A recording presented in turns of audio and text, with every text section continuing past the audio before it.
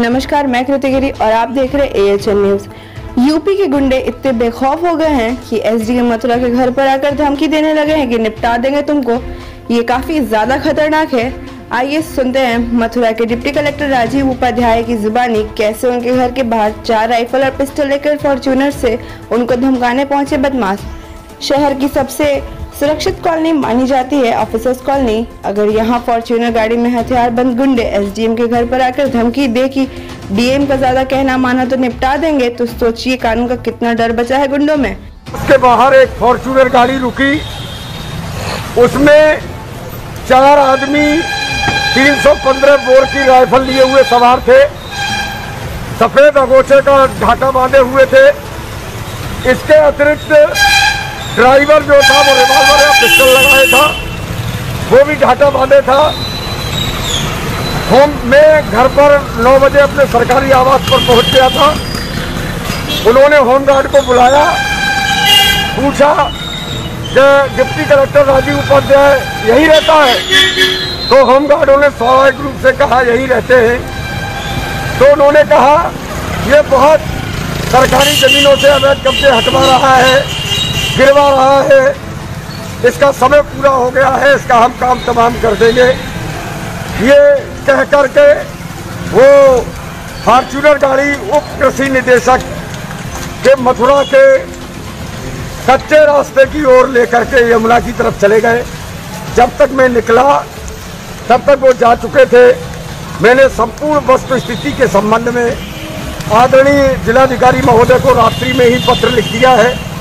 जिसकी प्रति वरिष्ठ पुलिस अधीक्षक महोदय मथुरा को भेजी गई है। जिलाधिकारी महोदय ने कहा है कि आपको आज गनर उपलब्ध करा दिया जाएगा। सुरक्षा का विषय है। में सरकारी जमीनों से अतिक्रमण हो, चाहे मथुरा में अतिक्रमण हो, चाहे मथुरा, वृंदावन विकास प्राधिकरण की भूमियों पर किए गए तमाम कब्जे हो ग्राम समाज संपत्ति पर कब्जे हो। पिछले एक वर्ष चार माह के कार्यकाल में मैंने तमाम कब्जे जिला मजिस्ट्रेट महोदय के आदेशानुसार हटवाए हैं। भू माफियाओं के दर्द हो रहा है धड़कन बढ़ रही है हो सकता है उन्हीं ये ये कौन लोग हैं जिन्होंने आपको धमकी दी है? ये देखे नहीं जा सके मेरे यहाँ कोई सीसीटीवी कैमरा भी नहीं है जिसमें फुटेज ले लेता होम गार्ड के पास एंड्रॉयड मोबाइल भी नहीं थे तो वो फ़ोटो ले लेते, गाड़ी का नंबर आ जाता। सिस्टम के लापरवाही से किसानों की फ़सल बर्बाद। दौरानदा प्रखंड के पांडेपुर पंचायत के डीबी गाँव के उत्तर दिशा कमला चौक मुख्य मार्ग के मध्य स्थापित पुल को बंद कर दिया गया है, जिसको लेकर ग्रामीणों ने अंचलधारी को ज्ञापन भी दिया है। आपको बता दें, ग्रामीणों का कहना है कि डीबी गाँव के उत्तर दिशा में नहर व बस्ती, पानी लगने से धान की खेती बर्बाद हो चुकी है।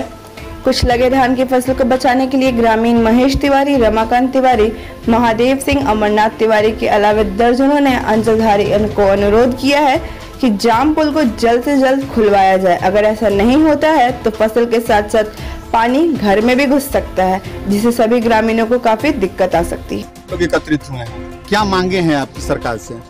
हमारी समस्याएँ आप देख रहे हैं। यही समस्या है कि प्रत्येक साल हमारे गाँव का धान का, गेहूँ का फ़सल बर्बाद हो जाता है। ये इसका मेन कारण है जब से ये पुलिया बना। 2007 में बना था, उसी समय हम लोगों ने इसका विरोध किया था। लेकिन विरोध करने के बाद देखा गया कि यहाँ मारकाट हो सकता है। तो हम लोग प्रशासन के पास गए और प्रशासन हम लोगों को यह आश्वासन दिया कि इस पुल को साढ़े तीन फुट बीच में जोड़ दिया जाए। आ, यही वो लोग हम लोगों को अनु दिए आश्वासन दिए।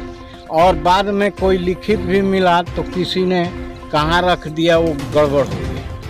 सबसे बड़का समस्या बा ई कि पुल से बहुत ज़्यादा क्षति हमके आज पंद्रह साल से हो रहा बा। ऐसे ई पुल बंद करा देहल जा। अब बंद करा के पानी के निकासी के अगला स्टेप कहीं देखल जाओ जो पानी निकासी हो। को परिचय राउत? महेश तिवारी ग्राम डीबी। से आन पड़ी है आप लोगों को। देखिए सबसे बड़ी समस्या हमारे गाँव में बाढ़ की बारिश का पानी तबाही मचा चुका है। इसका सबसे पहले कारण है कि ये पुलिया नहीं था तो इसे रोड पार करके पानी जाता था लेकिन ये पुलिया जब से बना जब से लगभग सौ से डेढ़ सौ करके आसपास हमारे यहाँ का किसानों की क्षति होती है। आ, रही बात की इसकी निकासी नहीं है हम समझते हैं जो लगभग ये लमसम दस साल से ऊपर से हम ये परेशानियाँ झेल रहे हैं। इसी में ये परेशानियाँ हैं इसी में कोरोना का परेशानियाँ हैं। सारे पैसे लग गए लगभग यहाँ के किसान भूख भूखमरी से मरने की कगार पे हैं।